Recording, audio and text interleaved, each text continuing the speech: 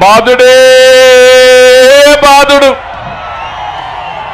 మామూలు బాధుడు కాదు వీర బాధుడు నిత్యావసర వస్తువులు ఏమన్నా కొనే పరిస్థితిలో ఉన్నారా? ఏమమ్మా వంట చేసే పరిస్థితిలో ఉన్నారా మీరు? నిత్యావసర వస్తువుల ధరలన్నీ పెరిగాయి. బియ్యం దగ్గర నుంచి ఉప్పు పప్పు కూరగాయలు అన్ని పెరిగిపోయే పరిస్థితి వచ్చింది. సామాన్య మానవుడు బ్రతకలేని పరిస్థితికి వచ్చాడు. దేశంలోనే పెట్రోల్ డీజిల్ ఎక్కువ ధరలకు చిరునామా ఆంధ్రప్రదేశ్ అయింది.